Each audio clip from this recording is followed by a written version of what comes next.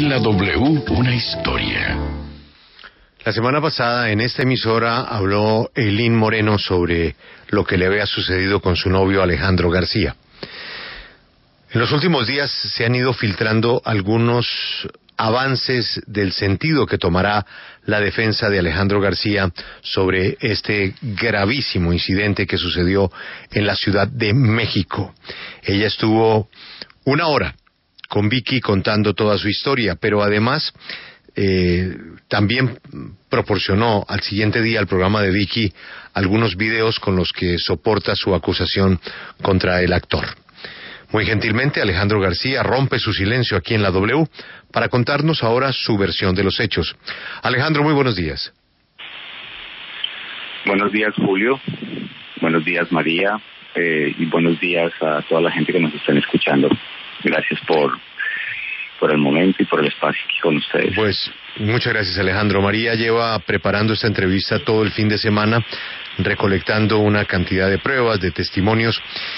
Yo quiero hacerle una pregunta para comenzar antes de que María tome la, la rienda de la entrevista que ella ha preparado.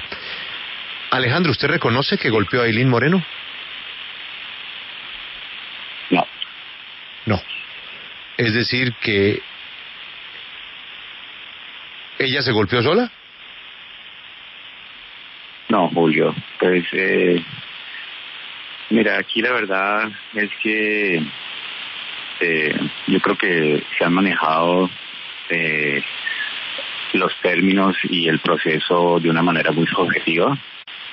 Eh, pues yo primeramente quiero pedir disculpas a, a mi familia, a todas las personas que, perdón, que han estado involucradas y que han tenido eh, una pasión muy grande como por este tema y que pues que han sido tocadas por, por eh, todo este tema tan sensible. Y pues eh, Julio mira yo creo que pues, eh, inicialmente pienso que se me han violado ciertos derechos en el sentido que que pues yo tengo el derecho a la honra al buen nombre y también tengo el derecho al debido proceso. Y, inicialmente eso se me ha violado. Eh, no me han dado la oportunidad de responder, solamente han tenido ustedes una cara de, de la moneda y, de la información. Y por eso hoy hoy vamos a tener la otra la otra cara de la moneda y, y María pues ha preparado toda la documentación para esta entrevista. Pero Alejandro, es muy importante pues partir de lo, de lo básico, porque si usted nos dice que usted no es el responsable de lo que le pasó a ella, quiere decir entonces que o no hubo golpiza o fue otra persona la que la golpeó y no es usted el que aparece en la recepción de ese edificio. Usted me repite entonces, por favor, que usted no acepta que haya sido el responsable de lo que le pasó a esa niña en ese apartamento de su empresario que también lo ratificó aquí, en estos micrófonos, Gabriel Blanco. Usted no es el responsable de lo que le pasó a ella. Julio, eh, yo no soy responsable porque yo me estaba, eh, yo estaba durmiendo en ese momento y Eileen allanó mi casa en ese momento y me empezó a atacar cuando yo estaba dormido y el término aquí es que yo me defendí en mi legítima defensa. Ese, ese, eso fue lo que pasó. Ya le voy a explicar por qué. Ahora, Alejandro, la responsabilidad... Antes... Sí, cuéntame. Antes, Alejandro, muy buenos días de que empecemos con la versión suya de los hechos. Eh, yo quiero leer el parte médico para que estemos claros en lo que le sucedió a Eileen. El parte médico del, del Hospital San In dice fracturas desplazadas de los huesos propios de la nariz y del piso medial de la órbita izquierda con herniación de la grasa extrafinal y leve descenso del músculo recto inferior hacia el antro maxilar. Y le quiero exponer lo que Eileen dice que le sucedió en cuanto a la fuerza de los golpes. Escuchemos. La nariz, porque me fracturó la nariz, entonces tenían que acomodarla, pero en dos meses me tienen que hacer otra, otra vez en la nariz, porque lo que hicieron fue como así acomodarla de urgencia, o sea, estéticamente no quedó como antes. yo soy actriz, trabajo con mi cara. Claro. Eh, me fracturó la órbita del ojo izquierdo que me explica el médico como en palabras para que yo entendiera y a lo mejor para que todos entendamos más fácil, que es como que el ojo, el, el ojo lo, lo sostiene una hamaca. En el golpe o en los golpes, esa hamaca se rompió, se desplazó. Entonces el ojo lo recubrió una grasita. Esa grasita se escurrió al, el romper la maca y se escurrió al seno paranasal. Y eso hace también que el ojo se descuelgue. Se descuelgue. Entonces yo no veía bien por este ojo izquierdo, veía doble. Pero pues en ese momento no entendía por qué. Por eso Alejandro, antes de entrar en su versión de los hechos y si lo hizo en un acto de legítima defensa o si lo hizo consciente o inconsciente, yo le quiero preguntar si estos golpes que Eileen denuncia que usted le ocasionó, usted reconoce, como Julio le pregunta, que usted se los propició. María, eh, mira, en principio yo no soy doctor. Eh, yo, bueno, se tiene esa información, pero esa información no ha sido corroborada eh, en el caso, por lo menos de parte de mis abogados, eh, sí hubo, eh, digamos que, una historia de los hechos, que es la que me gustaría contar. Y yo no podría finalmente decir, porque no, no me consta eh, este, esta magnitud de, de golpes que me estás mencionando y fracturas y todo esto de parte mía. Eh, hubo varios momentos eh, que no se sabe qué pasó. Eh, digamos que ya hablando el, eh, un poco de la historia después de del incidente, es que ella eh, finalmente salió de la casa. Les estoy contando ya adelantado que bueno, me gustaría contar desde antes, pero les cuento un poco. Ella cuando salió de la casa, ella llamó a la policía. Cuando llegó la policía llegaron dos patrullas. Luego llegó una ambulancia eh, la ambulancia la dio de alta a la media hora enfrente del edificio y luego los policías nos montaron a cada uno en una patrulla y más adelante también nos dejaron libres. Se, supone que el, conducto de esos regulares que eh, lo llevan a uno a una delegación que es no sé cómo se diría en, en Colombia de ser una estación de policía o algo así y allá se hace un valoramiento médico y, y de ahí se debió haber eh, como nombrado realmente el, daño de, de, pues, de los hechos, ¿no? Y, y pues según lo que tengo entendido es que Eileen se, se montó en un taxi después de eso, se fue a un hospital que queda en Polanco, teniendo tres hospitales alrededor, llegó al hospital después, qué sé yo, era hora pico, yo me imagino, calculo, no sé, no sé, no tengo el dato exacto, pero deben ser unos 45 minutos, eh, suponiendo que su vida estaba en peligro. Y cuando llegó al hospital, eh, le hicieron su valoración y al final del día, eh, creo que fue a las 3, entre 3 y 4 de la tarde, le dieron de alta del hospital también.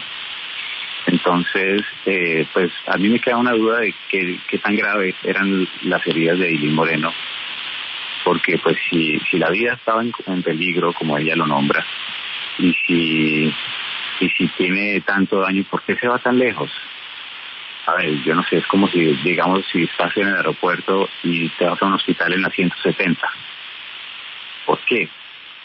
Ahora, después de eso, ella tiene 21 horas después según viendo los documentos que ustedes presentaron cuando, que, o que Lin presentó cuando habló con ustedes, de que las 21 horas al otro día ella ingresa a otro hospital. O sea, ¿y qué pasó en esas 21 horas? estando, eh, no habiendo registro de ningún otro hospital. ¿Ya? Eh, entonces, a mí sí me quedan muchas dudas con respecto a eso. Y, yo sí quisiera ver eh, con una segunda opinión y hacer una investigación con todo este tipo de, heridas y todo este tipo de, cirugías que ella menciona, porque como ustedes lo dijeron y como Gabriel lo dijo, Gabriel Blanco, ella cuando salió de la casa no salió en un estado en el que se viera que se fuera a desmayar ni que su vida estuviera eh, corriendo en peligro. De hecho, ella tomó la decisión por voluntad propia, se fue, tomó la decisión de irse, no dejó auxiliarse. Yo conozco a Gabriel Blanco, es uno de mis mejores amigos y es como mi familia en México. Y él es una persona absolutamente honorable, que él está dispuesto a ayudar a cualquier persona y, no me cabe la menor duda de que él estuvo dispuesto a ayudarla, a ofrecerle todo lo que necesitara y ella tomó la decisión de irse. Entonces. Bueno, Alejandro, pero aquí lo importante es saber que un golpe, pasito o duro, brutal o no brutal, es igualmente condenable.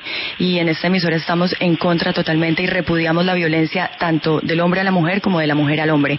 Vamos ahora sí con las versiones. Antes de entrar a que usted nos explique su versión, que amablemente ha decidido concedernos esta entrevista, escuchemos nuevamente cuál es la versión de los hechos de Eileen. Y entonces él otra vez tiene el celular, yo se lo quito, esa manía que tiene de estar grabando todo. Eh, yo no me sospeché el por qué lo hacía, ya luego fui entendiendo. Entonces yo me voy al rincón, agarro mis cosas, tenía un bolso grande, echo ahí mis cosas y estoy sentada en la cama de espaldas a él, cuando ahí ya siento la mano de él agarrándome del cuello y del pelo, arrastrándome, me tira al piso y empieza a insultarme y, me arrastra por el pasillo. Yo ahí siento mucho, mucho miedo. Pues era un piso noveno. En ese momento a ti te pasan mil cosas por la cabeza.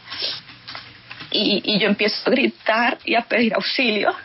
Él abre el ascensor. El ascensor es, él es un apartamento de esos que el ascensor llega directo al apartamento. Claro. Él abre el ascensor y me tira el ascensor.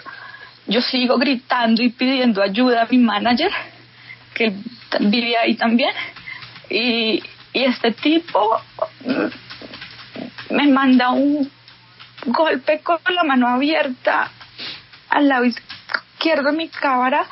Yo quedo aturdida, es como ese instante de no puedo creer que me esté pasando esto, o sea, mi novio me pegó y, y, y sigo gritando auxilio, por favor ayúdenme, viene otro puño durísimo, lo siento como ya por la nariz y ya yo ahí ya no tengo mucha claridad porque quedé aturdida. Ya, ya yo no recuerdo cuántas veces me pateó, cuántas veces más me pegó en la cara. Yo recuerdo que solo gritaba y pedía ayuda. Lo escuchamos, Alejandro. ¿Cuál es su versión de los hechos? definitivamente es una versión totalmente acomodada. Eh, definitivamente no entiendo cómo el no puede reconocer ni siquiera una historia real y por qué omite tantas cosas. O sea, de verdad que está mostrando una cara totalmente diferente. Yo les voy a contar desde que ella empieza eh, a, narrar los hechos.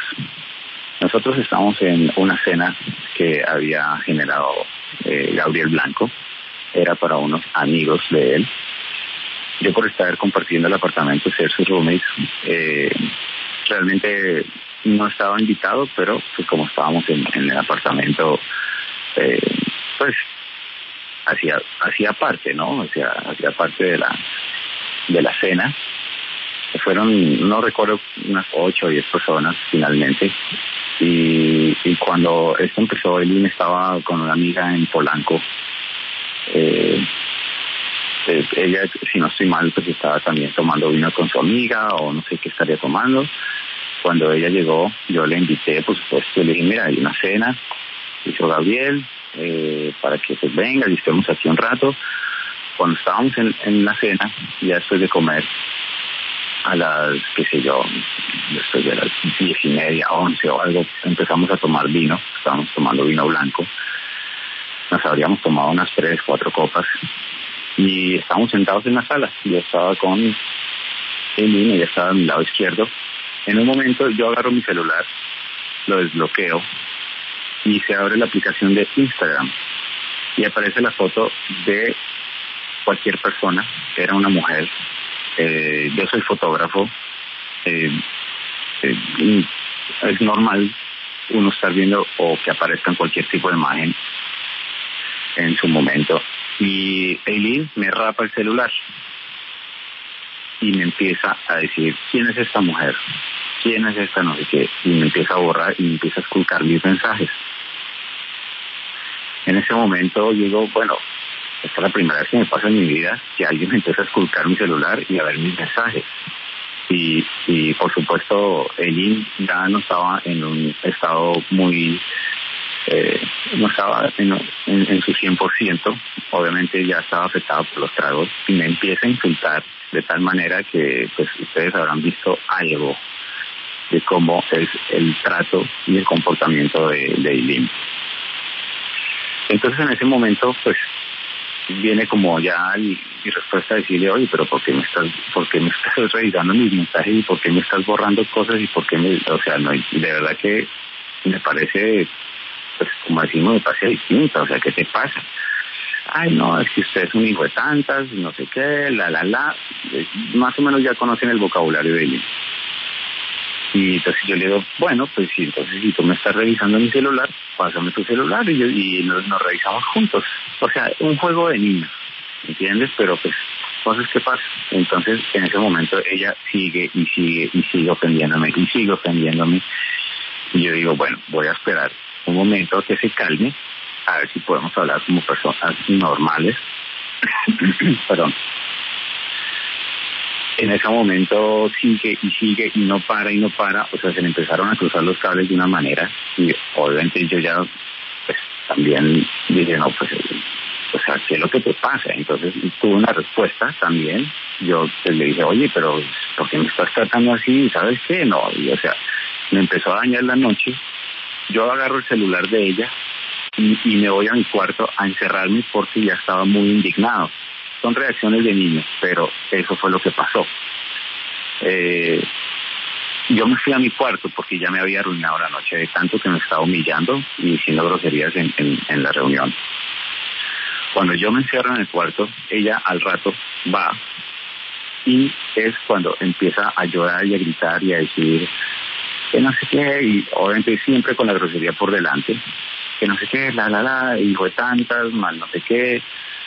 Luego eh, empieza, empieza a aparecer alguien que, estaba en la cena y eh, se va al baño y pues la puerta estaba abierta y esta niña empieza a decir, eh, mira, Alejandro me pegó, me está pegando. Y yo, ¿what? O sea, ¿cómo? O sea, no puedo creer que esta niña me esté haciendo este show en este momento. o sea, ¿a razón de qué y por qué? Ah, y ella me estaba amenazando a decirme, o sea, empezó a amenazarme a decirme que me iba a hacer un Instagram Live. Yo pensé que era un Facebook Live, o sea, igual no sabía qué era, pero me estaba amenazando con hacerme un live. Entonces, en ese momento, bueno, yo creo que estas son unas acusaciones de verdad bastante infantiles pero graves. Entonces yo saco mi celular y la empiezo a grabar y yo, oye, ¿dónde fue que te pegué? Ese video está al aire. ¿Dónde fue que te pegué? ¿Por qué me estás acusando así? No, si Alejandro es no sé qué, bla, bla, bla. Y el, ese video es de 8 minutos. Oh, no, perdón, de 11 minutos. 11 minutos sin parar acusándome que yo le había pegado cuando ni siquiera la había tocado. Y en ese momento ella me empezó a agredir, me empezó a rasguñar los brazos y decía, pero ¿qué es esto por Dios? Y luego ella se fue calmando poco a poco, yo le fui diciendo, cálmate, cálmate por favor, toma aire. O sea, de verdad que no, estás, estás muy mal, estás muy borracha, estás tomada. Cálmate, por favor. Esta niña finalmente después, al final del video, sin, sin cortes, ella se empieza a calmar. Se empieza a calmar, no sé qué. Ah, en ese momento, como también se ve en el video, yo le voy a devolver su, su celular y no me lo recibe y sigue gritando y sigue gritando, pero a grito herido, diciendo, Gabriel, Alejandro me pegó, ay Gabriel. yo no, no lo podía creer, o sea, de verdad no podía creer ese show. Por eso fue que la empecé a grabar. Él decía, Porque si esta niña sale a la sala diciendo esas acusaciones, o si sale cualquier, y dice, yo digo, pero ¿por qué me quiere hacer quedar mal de esa manera? O sea, finalmente ella cuando se calma, ella se va a la otra habitación, yo me encierro en mi cuarto, yo de ahí no volví a salir a ningún lado porque definitivamente me arruinó la noche.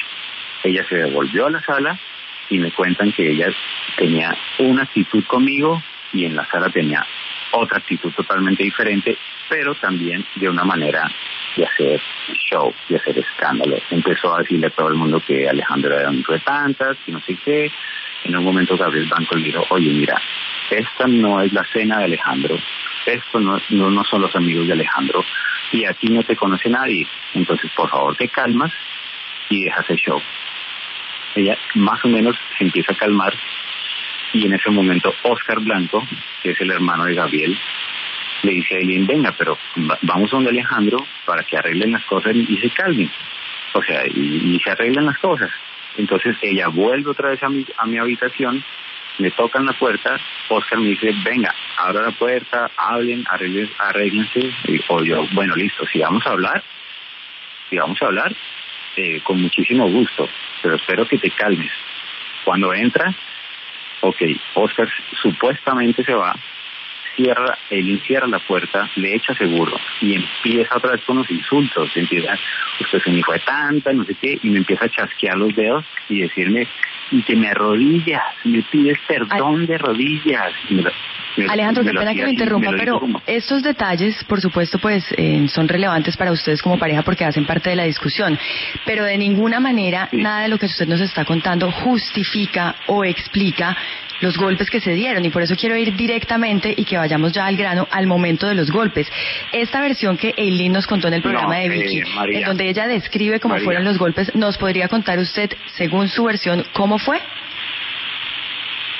María, bueno, te voy a resumir, porque es que eh, no solamente no todo, o sea, déjame terminar este pedazo, te lo voy a resumir. Luego, después de estas humillaciones, de insultos, de romperme la camisa, de pegarme cachetadas, Finalmente ella se va, yo cierro la puerta y ella empieza a tomar la decisión de irse por su propia voluntad. Ella empaca su maleta, no sé qué horas eran, pueden ser las, aproximadamente las 4 de la mañana, y, cuando ella sale del edificio, ella salió del edificio por sus propios medios, siendo ella una persona de, una eh, persona mayor de edad y ella tiene 33 años de edad ella ya es consciente de su vida, de lo que puede hacer y no, y, y tiene que ser, eh, se tiene que ser, responsable de sus actos. Ya para mí me di cuenta que no era una persona grata para mí, ella simplemente ahí eh, estaba de paso, pero con esa actitud yo ya no le iba a tolerar. Ella se fue del edificio aproximadamente a las 4 de la mañana.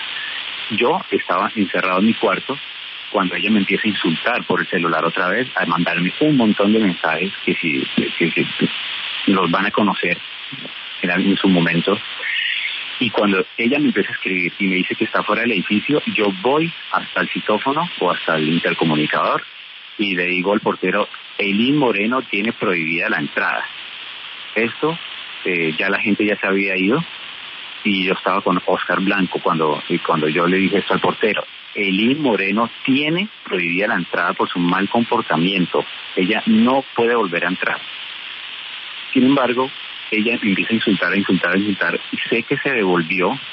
Creo que se encontró con gente que estaba en la cena y, le dijeron en la calle, oiga, no, pero ¿por qué está en la calle?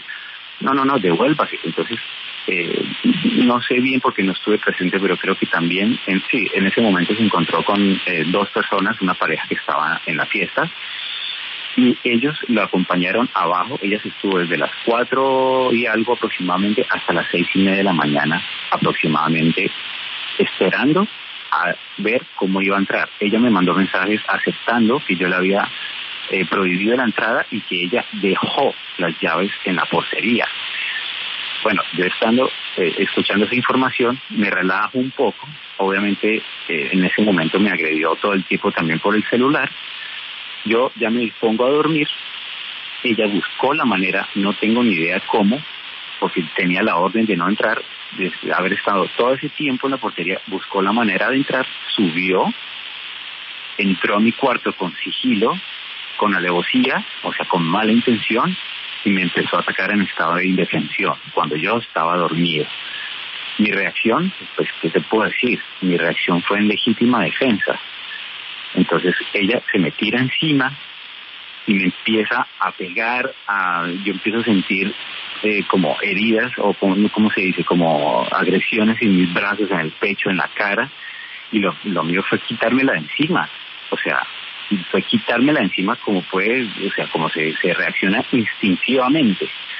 En este, en este contacto, en este, en esta riña, este forcejeo, yo me la quito encima como pude. Cuando voy, eh, me doy cuenta que es ella, porque pues obviamente me estaba diciendo, te voy a matar, eres un hijo de tantas, no sé qué, ta, ta, ta. Y entonces, después de mi reacción, yo agarro y le empiezo eh, a, a, a, llevar hacia el ascensor, no del pelo, no arrastrada de los brazos. Cuando la meto en el ascensor, ella se devuelve y le empieza a tocar la puerta a Gabriel pidiéndole ayuda. Entonces yo pregunto, ¿por qué ella empieza a, o sea, si su vida está corrido, corriendo peligro, ¿por qué se devuelve ya estando en el ascensor? Bueno, ella, cuando le toca a Gabriel, ella entra en el cuarto de Gabriel y ellos se encierran porque pues eh, el Lindsay ya tenía, o sea, tenía un poquito de sangre en su nariz y según entiendo, Gabriela empieza a auxiliar. Entiendo que cuando ella se empieza a tomar los videos y las fotos, se empieza a acomodar la sangre en la cara para empezar a hacer Pero Alejandro, uno cómo se acomoda la sangre en la cara, es que ese es el pedazo que, que no hemos podido entender, porque es que un video es muy claro y la sangre de la nariz, a menos que ella tuviera en ese momento unas pinturas o lo que sea, es imposible de montar, es imposible pretender decir que esto es un montaje y que ese video que todos vimos, pues es simplemente una acomodada de la sangre.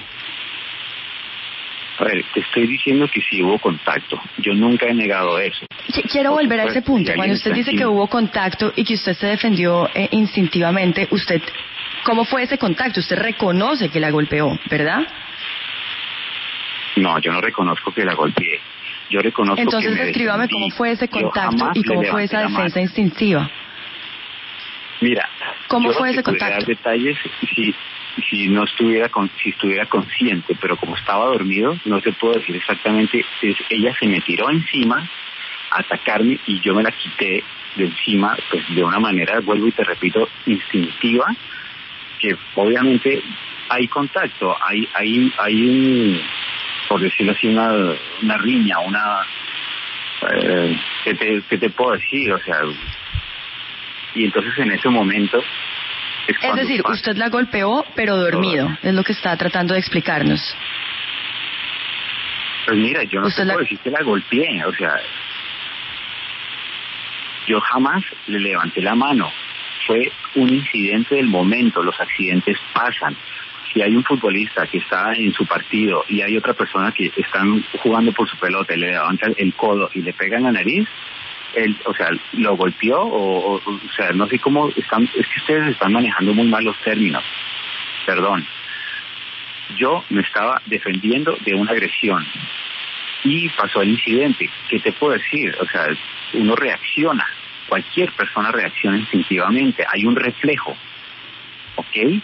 Pero yo jamás, la, o sea, como ustedes mencionan, yo jamás la golpeé ni le levanté la mano. Eso jamás.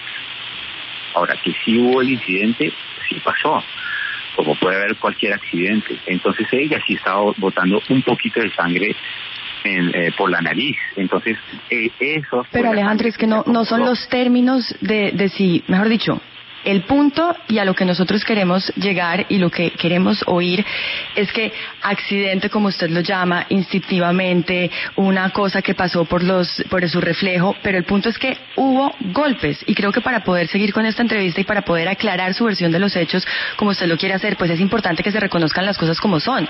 Y es que hubo golpes, dormido, despierto, por instinto, sin instinto, hubo dos golpes por lo menos. María, ya te lo dije, no te lo voy a volver a repetir, disculpa. O sea, yo no sé qué es lo que, quieres escuchar. Ustedes saquen sus deducciones. De verdad, aquí hay un proceso jurídico en el que hay muchas más pruebas, muchas más cosas, y eso ya se lo dejo en mano de ellos, porque ya te lo he dicho, si tú quieres repetir eso, pues bien puedas, pero ya te dije esa parte de la, de la versión.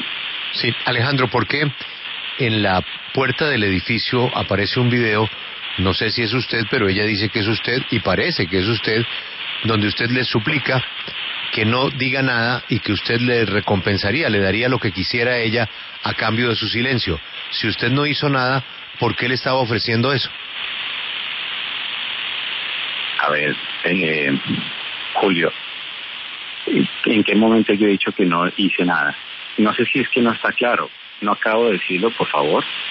O sea, estoy diciendo que si hubo un contacto. O sea, ella me empezó a violentar, ya dije esa parte.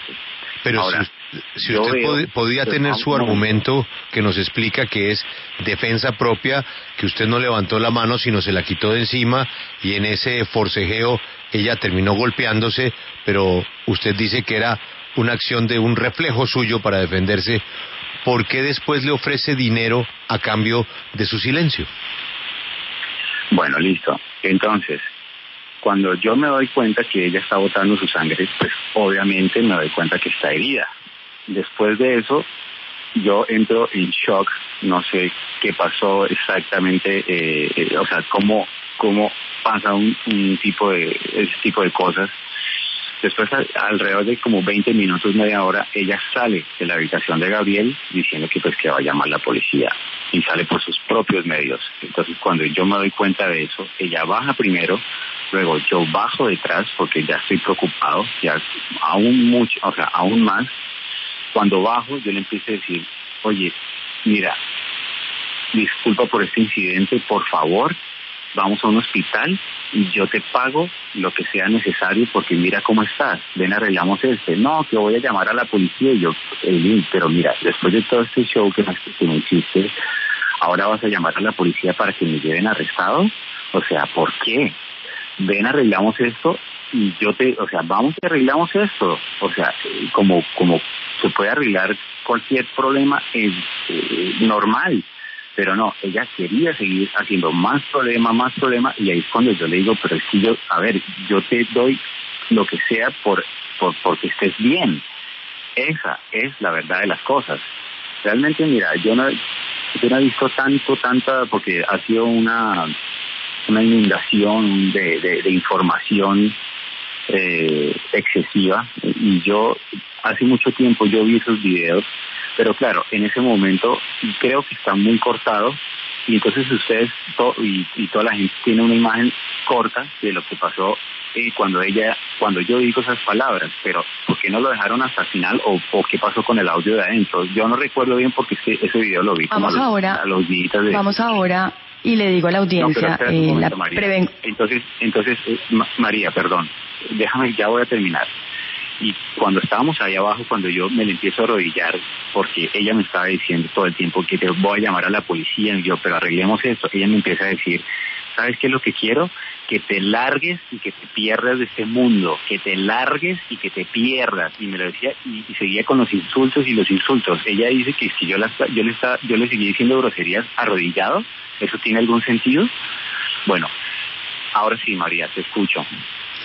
Alejandro, bueno, voy a decirle a la audiencia que vamos a ir con unos audios muy fuertes que usted mismo ha expuesto en su cuenta de Instagram y quiero hacer claridad en que bajo ninguna circunstancia constituyen para nosotros una justificación de lo que pasó, pero pues siendo lo que, entre comillas, usted llama pruebas y la forma como usted ha tratado de explicar su versión, nos parece relevante periodísticamente exponerlos. Escuchemos lo que usted ha explicado a través de audios y videos de lo que sucedió esa noche. El que mucho presuma es la Valencia. Que mucho huye, gran huevón. Habla conmigo, te quedas hablando conmigo, está para camisa, mal parido. Oh, no. Bebecito, Ay, bien se puede ir. Por el culo, salga Bien del se, bien closet. se puede ir por, donde llega.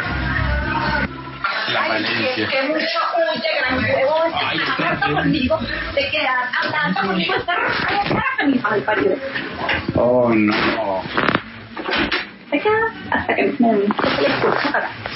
Bebé, estoy que me hago pipí. ¿Me haces hacer pipí? Gato, hijo de puta, Pipe.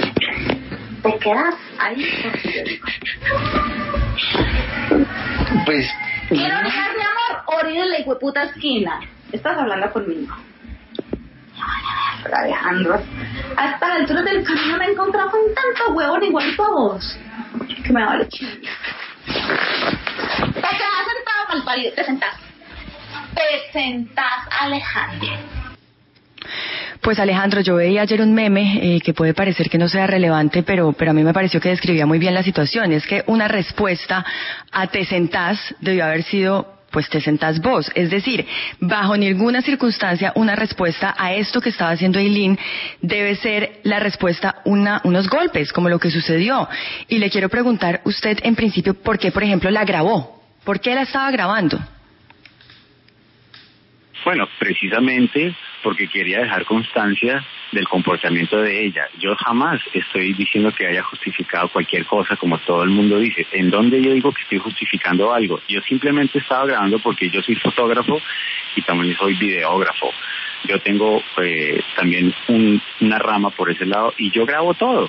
Y, y más cuando hay también cuando hay una, una que, que ¿cómo te puedo decir? Como un ataque verbal un ataque ofensivo, ¿por qué no lo voy a grabar? ¿Acaso eso no lo puede hacer cualquier persona?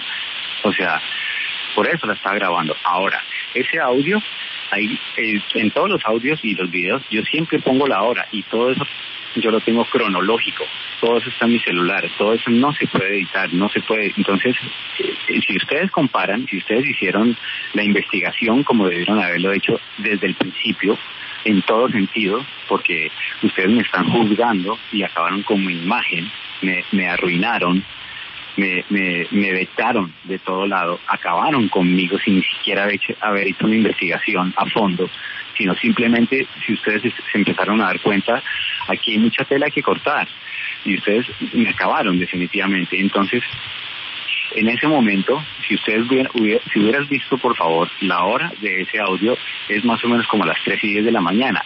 Ese no fue el momento en el que yo le haya devuelto, eh, pues absolutamente, como ustedes están diciendo, que yo haya hecho algún tipo de, de acción, pero ese, ese momento no corresponde al momento en que ella entró a violentarme y allanó mi casa porque ella estaba con la entrada prohibida y allanó mi casa a atacarme con alevosía, sigilo. Eso quiero ir a ese punto. Usted en su propia narración dice que Eileen es mayor y que ella debería ser responsable de sus actos.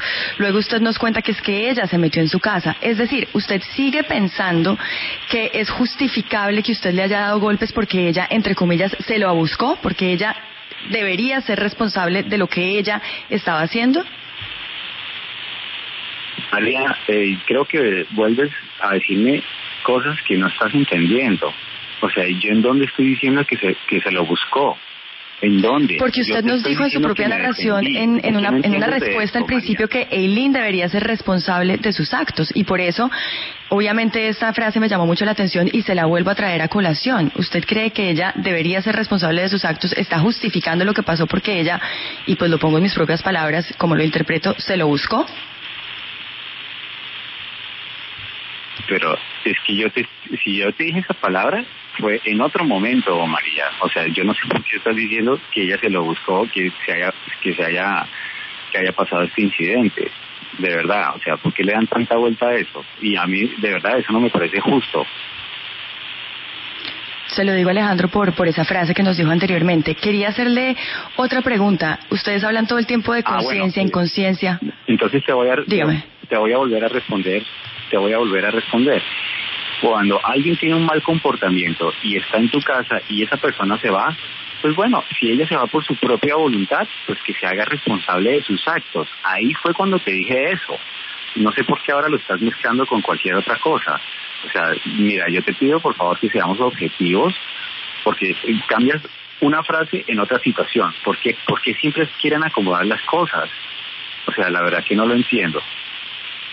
No, Alejandro, nosotros no estamos acomodando, estamos, bueno, le quiero preguntar si en esa fiesta, porque ustedes hablan de conciencia, inconsciencia, que el no estaba consciente, que usted estaba dormido, en esa fiesta había drogas, este es un episodio en el que pues había exceso de alcohol y drogas.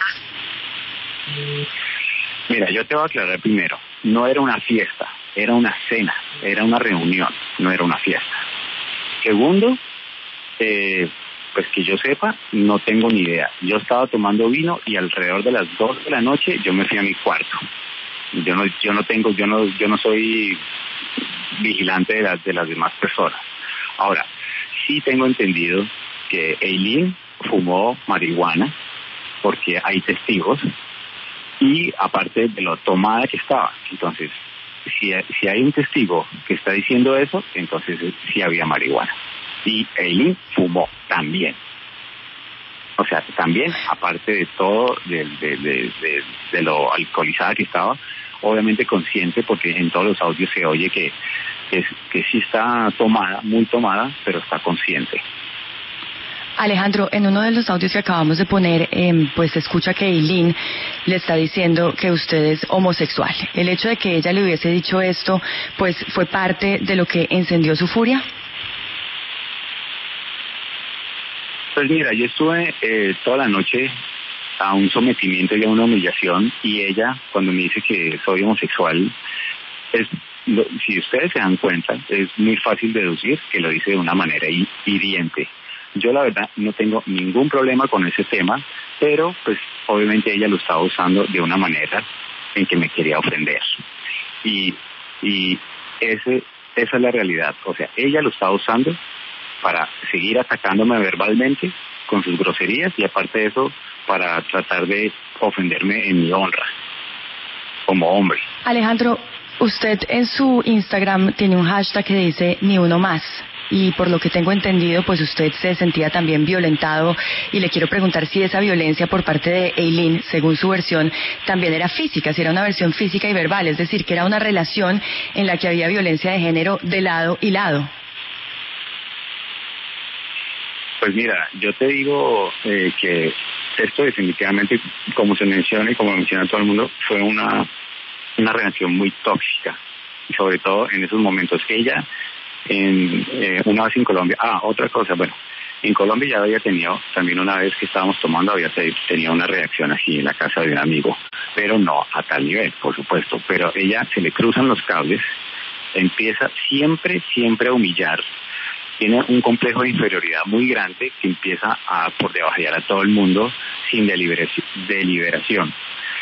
Eh, otra cosa que quiero mencionarles es que yo, yo, sin ser novios, yo empecé a salir con Eileen desde febrero. O sea, nosotros, eh, yo le hice unas fotos en enero, a finales de enero eh, tuvimos unos encuentros, o sea, tuvimos nuestras relaciones, todo esto desde febrero. En mayo fue que empezamos a, a como a salir más en serio. Pero desde entonces ella, nosotros fuimos, ella me acompañó, yo, yo estaba grabando La Mamá del 10. Y, y en, ese, en esos días, en febrero, a finales de febrero, era la premier o era el estreno de, de, de la novela, de la serie. Y yo dije, pues vamos. Y entonces ahí habían cámaras, nos tomaron fotos y pues nos, claro, llegamos agarrados de la mano y luego eh, nos tomaron fotos y nos sacaron una foto en TV y novelas, diciendo, ah, el nuevo amor de Eileen Moreno. Nosotros no éramos novios, pero como te digo, ya habíamos salido, empezado, empezado a salir. Ella, durante todo ese tiempo, sí teníamos nuestros encuentros todo el tiempo y ella siempre negó cualquier tipo de relación hasta mayo que ya pues no sé por qué motivos y ya ella siempre le gusta ser protagonista, o sea, como pueden ver, eh, y ella siempre estuvo como negando, eh, a mí tampoco es que me afectara mucho, pero pues ella siempre manipuló los medios. Cuando salió eso, ella dijo y le dijo a muchos medios que nada, que nosotros no estábamos saliendo, que estaba solamente sola, no sé qué, bueno, no había ningún problema. Pero si ustedes buscan en internet, ella todo el tiempo estuvo negando. Pero ya, después en julio, eh, que iba en mayo, ella empezó a aceptar que estábamos saliendo. Otra cosa es que, por ejemplo, la edad de ella, ella tiene 33 años, ahorita va a cumplir 34. Si ustedes buscan y ponen la edad o, empiezan a averiguar un poco sobre ella en Wikipedia, en cualquier parte, ella siempre dice que es del 88. O sea, manipula tanto los medios que, por ejemplo, eso de la edad también lo manipula. O sea, y ahorita, con, este, con esta bomba atómica, ella está mintiendo, está omitiendo mucha información. ¿Por qué no reconoce las cosas? O sea, de verdad, a mí se me ha hecho una injusticia muy grande. Ustedes acabaron con mi vida y ni siquiera me dieron el derecho ni siquiera a defenderme. No hay un fallo, no hay un fallo, es un tema jurídico. Y ustedes acabaron con mi vida. Qué irresponsabilidad, de verdad. Ahora, ¿quién me va a devolver todas esas cosas? ¿Cómo voy a hacer yo de aquí en adelante si ni siquiera habido un, un, un fallo jurídico? Por favor, de verdad, aquí Alejandro, pero precisamente por eso llevamos una hora escuchando su versión de los hechos, porque precisamente es lo que estamos intentando hacer. Mire, a mí me llamó la atención mucho. acabado. Desde el minuto uno, la W abrió los micrófonos para que usted explicara y pues usted una semana después lo está haciendo, lo cual le agradecemos muchísimo. Alejandro, hay un detalle y es que Eileen dice lo siguiente sobre su arrepentimiento. No, él nunca, nunca mostró ningún tipo de remordimiento o de culpa o nada, absolutamente nada. Nunca la visitó en la clínica, nunca la buscó, nunca fue al médico, nunca, nada. Ni la llamó ni nada. Que, nada, absolutamente nada. Me bloqueó. Yo le quiero preguntar si okay. una semana después del testimonio de ella, si un mes y medio después de que haya sucedido esto, o sea, en este momento, y después de haberlo pensado con cabeza fría, cuando ya no está dormido, usted, Alejandro, siente arrepentimiento por lo que pasó, independiente a la violencia de ella, ¿usted siente arrepentimiento por lo que pasó? María, mira, ella fue mi novia. Eh, obviamente uno empieza a enamorarse. Yo, de verdad, estoy consternado con toda esta situación. O sea, yo no soy un tipo de piedra. Yo de, no entiendo cómo pasó todo esto. Ahora, eso que ella está diciendo, ¿por qué no reconoce que ella me puso una caución? Entonces, ¿cómo es tan descarada de decir que yo no me la acerqué, que no, no la llamé, cuando ella me pone una caución que yo no le puedo hablar y ella no me puede hablar? Entonces, ¿por qué miente con eso? Y la caución está, o sea, existe, todos esos documentos existen. De verdad que, es, perdón, pero está enferma de la cabeza. Y me duele mucho porque eh, fue una persona muy cercana a mis sentimientos, a mi persona, era mi novia, estaba sintiendo cosas. ¿Y, y, y, por, qué, por qué esa demencia? O sea, perdón, yo no quiero, o, o, sea, yo a mí no me gustan los problemas, a mí no me gusta ofender a nadie, pero las cosas como son. Y, y la verdad que la actitud de esta niña es, incontrolable, es, es impresionante. Y ahora, ya que ustedes escucharon el, el relato real, ahora ella empieza a abusar de una bandera del maltrato de mujeres cuando no es así y se empieza a escudar eso y ahora se volvió eh, usando esa bandera se volvió la más famosa que a mí eso no me interesa pero lo que sí me parece supremamente grave es que ella se esté aprovechando esta situación con las verdaderas víctimas de maltrato a la mujer ella manipulando todas las cosas. Ella no representa a las mujeres golpeadas. Ella no representa a las mujeres. Es una persona mentirosa, es una persona que acomoda las cosas y es una persona que se aprovecha y, y, tanto así que me aplastó y, y, está intentando también aplastar a mi manager, a mi ex manager y a mi, a mi amigo, a mi familia Gabriel Blanco. Es totalmente injusto y todo esto va a tener obviamente su proceso y todo esto se va a demostrar, todo esto, hay un montón, hay todavía falta un montón de pruebas que obviamente no se van a sacar a la luz porque pues hay un proceso jurídico, pero todo esto va a tener su respuesta. Alejandro, mire, yo antes de que siga le quiero aclarar una cosa. Eh, en esta emisora, y yo sé que hablo también por mis compañeras, condenamos la violencia de todo tipo. No condenamos solamente la violencia de usted hacia ella, sino cualquier violencia que ella haya tenido hacia usted. Condenamos la violencia y punto. Y no justificamos de ninguna manera la violencia hacia ninguno de los dos lados. Y quiero que le quede claro, muy claro, ese punto. Y que no, no sienta que no estamos condenando también pues la violencia de otro lado. Pero yo insisto, nada justifica los golpes que usted le dio. Tampoco nada justifica que ella usted lo cacheteara, etcétera. Alejandro, yo tengo una, una última inquietud. Pero ¿por qué, no, no? Sí, perdón, Julio, dime. Sí, piense bien en lo que le voy a preguntar, Alejandro. ¿Esta es la primera vez que a usted una mujer lo acusa de golpear? Sí, por supuesto. ¿Perdón? Sí. ¿Está seguro? Sí. No, no, no le oigo el sí tan contundente.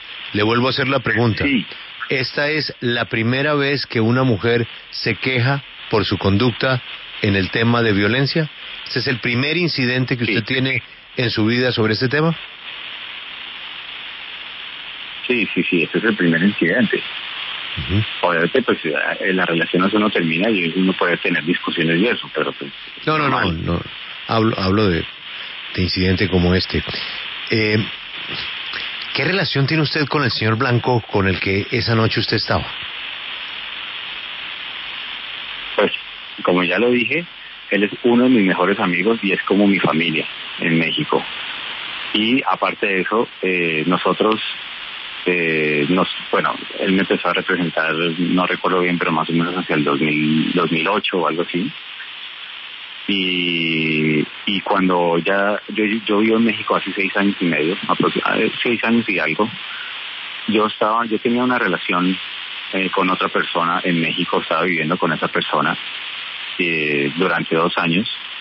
Luego cuando terminamos, que fue hace más o menos tres años y medio, yo estaba buscando eh, pues a dónde mudarme porque pues, estaba en la casa de ella y luego eh, Gabriel Blanco estaba viviendo con, con una pareja de amigos eh, y en esa época también ellos ellos quedaron embarazados de mellizos y ellos estaban buscando su hogar para poder eh, cuidar de sus hijos en un hogar independiente y coincidimos en que en esa época nosotros estábamos eh, buscando apartamento y dijimos, bueno, pues ¿por qué no compartimos un apartamento? Y desde ahí empezamos a hacer roommates y fue un complemento, la verdad, eh, muy bueno porque eh, yo como soy fotógrafo y soy videógrafo, eh, empezamos a hacer como equipo, empezamos a hacer dúo en trabajar juntos, en hacer fotografías, en hacer books y en hacer castings y, y sí.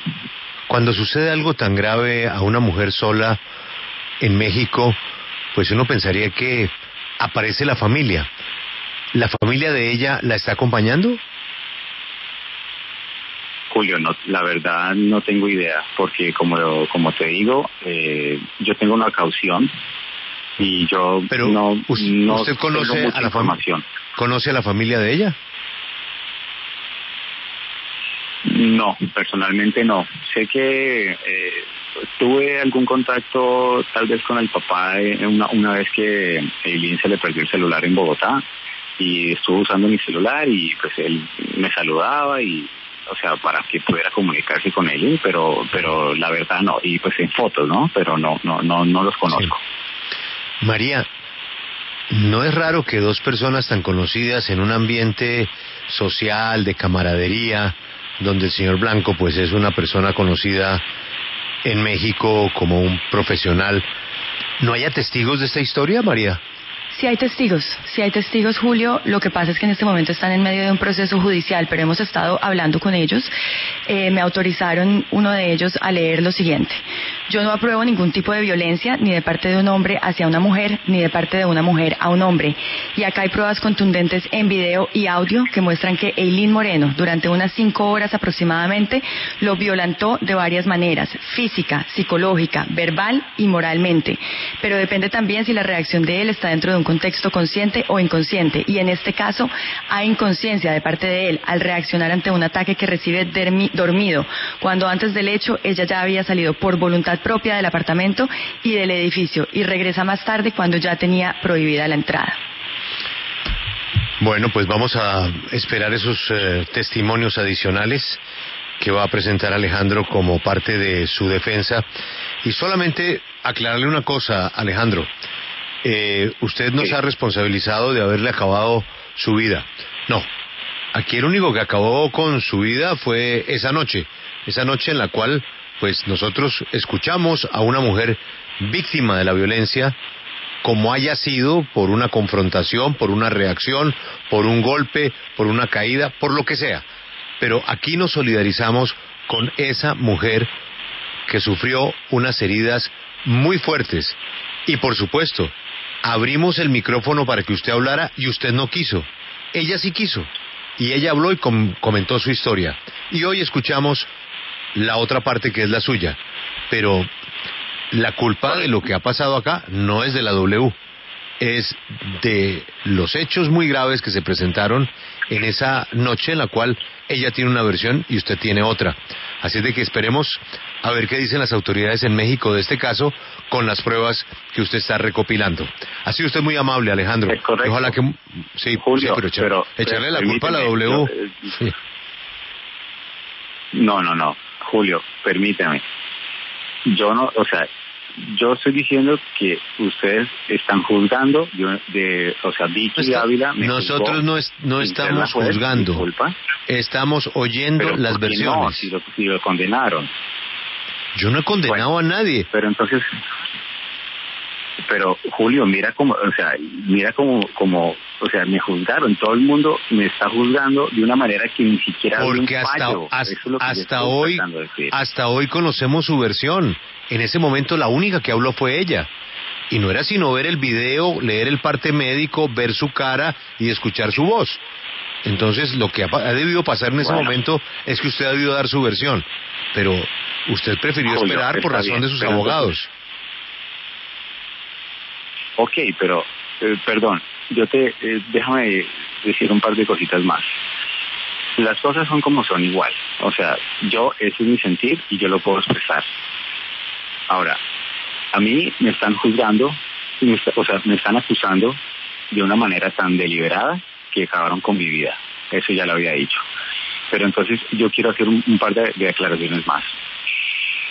Si ella tiene supuestamente siete cirugías, si ella tiene eh, incapacidad de cinco meses, ¿cómo sale en vivo después de dos meses perfecta de la cara? O sea, se pone unas benditas en, la nariz. Eso es para investigar.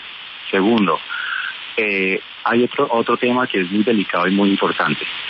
Ella, después, como a los 10 días después del incidente, el representante de ella, porque había una caución que yo no me podía acercar ni llamarla, el representante de ella y un amigo mío representante también de mi parte, ellos tuvieron un primer encuentro para ver qué era lo que ella quería y cómo era que quería manejar las cosas. Yo quiero hacer una denuncia eh, públicamente.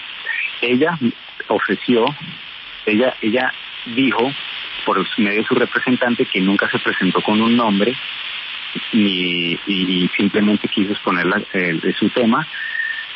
Me, me dijo que si yo le pagaba 3 millones de pesos mexicanos, que esos son más o menos como 500 millones de pesos colombianos, más millón doscientos que son, no, pueden ser unos 200 millones de pesos más. O sea, se- 670 millones de pesos. Ella eh, era por la indemnización y por quedarse, eh, por no salir a los medios a denunciarme y quitar la demanda. Ella mandó a decirme que con 670 millones de pesos ella se quedaba eh, en silencio y que quitaba la demanda. Ahora yo digo, claro, ¿cuál es el interés de eso, no? O sea, ¿por qué? ¿Por qué si yo le doy ese dinero se va a quedar callada? Eh, aquí, aquí hay muchas cosas que todavía están Y- por investigar y que las ¿Y están qué, investigando. cómo puede usted probar de que ella lo chantajeó? Bueno, eso eso ya es en el proceso judicial. Eso, Pero- eso ya está, ya están las pero, pruebas, ya están. ¿Quién ya le, quién, ¿Quién le llevó a usted la razón de ella de que por 680 millones se quedaría callada? Mi representante. O sea, el señor Blanco. No, perdón, mi, no, mi representante artístico no. Un representante legal, por decirlo así. O sea, la, la persona que se quería entrevistar con el representante de, de Eileen. Pero que no es el, mi representante artístico, que es Gabriel, no, él no. Otras dos personas ajenas. Que están dispuestas Y a eso- declarar, eso- que está, esas personas están dispuestas a declarar que ella por 680 millones de pesos le habría ahorrado este escándalo. Por supuesto, por supuesto. Pero esto está en su proceso judicial. O sea, eh, yo no quería, eh, yo, yo quería reservar, yo quería guardar reserva con este tema precisamente para evitar este escándalo porque tanto yo como me imagino ella estamos siendo súper, súper perjudicados. Por eso es que yo he querido guardar reservas como se puede hacer en cualquier proceso normal. Pero desafortunadamente que quisieron manejar las cosas así. Entonces, eh, pues ese es el ese es el, el tema, Julio. Eso, todo eso Pues- se va, todo eso está en, en su proceso y, y me parece algo que, que es como para cuestionar, ¿no? Sí. Alejandro, muchas gracias por atendernos y contarnos su versión aquí en la W. Bueno, Julio, muchas gracias. Eh, María, gracias y, y pues nada, eh, gracias por el espacio, por la oportunidad de hablar aquí con ustedes. Eh, ya todo se irá aclarando en su momento. Y pues yo lo único que también quiero mencionar es que eh, pues yo creo que esto es como una nueva brecha en, en como en la historia en que eh, las, las injusticias no solamente son hacia la mujer, sino también hacia el hombre. Eh, yo creo que esto es un tema como para seguir indagando y hacer eh, énfasis en, en, cómo eh, con la bandera del empoderamiento femenino también hay abusos hacia el hombre. Eh, yo voy a seguir también con este tema eh, porque la verdad que me parece algo totalmente injusto, me parece grave y yo creo que por el por las eh, mentiras de una persona no se puede llegar a este punto. O sea, de verdad que esto eh, no debería ser así. Esto no debería ser así, Julio y María y todos los televidentes. Yo les pido una disculpa eh, por todo esto que ha pasado. De verdad que no tenía por qué pasar así. Vamos a ver cómo van surgiendo las cosas, pero esto pudo haber tenido otro manejo, eh, de verdad. Y, y yo espero que Eileen se encuentre bien y que, y que todos que todo se pueda aclarar que cada uno tenga y, y reciba su, su debido proceso y su debido eh, eh, juicio. Y yo espero que todo esto empiece a salir bien y que y les pido una disculpa a todos por este gran eh, por este gran escándalo. Es Alejandro García, el eh, acusado por eh, Eileen Moreno como su agresor. Esta es la W. María, despidiendo a Alejandro, me queda una curiosidad. Yo sé que hay cosas que usted no puede decir porque le pidieron que no dijera. Por ejemplo, no podemos entrevistar a ese testigo que estaba allá. Pero allá también Todavía. está- todavía, allá también estaba el señor Blanco. Hay otro señor Blanco del que él habló, que se llama Oscar. Pero quería preguntarle, ¿usted sabe quiénes son las personas que supuestamente se entrevistaron con ella para el tema de los 680 millones de pesos? ¿Las tiene identificadas? No, a esas personas no las tengo identificadas, Julio. Es eh, una un nuevo matiz del caso. Esta es la W, serán las autoridades las que indiquen lo que sucedió acá. Quiero también resaltar otro tema. Quien hizo la entrevista a Eileen fue Vicky en su horario y ella no descansó. Nunca bajó la guardia en tratar de escuchar la versión de Alejandro. Pero María, Alejandro no quería hablar. Usted fue, usted fue la, la única que lo convenció. Desde el primer minuto, incluso antes de que Eileen saliera al aire, soy testigo de que estuvieron buscando a Alejandro García y él todo el tiempo dijo que necesitaba esperar un poco a tener la autorización de sus abogados y que iba a ir sacando unas pruebas, pruebas que él ha ido sacando.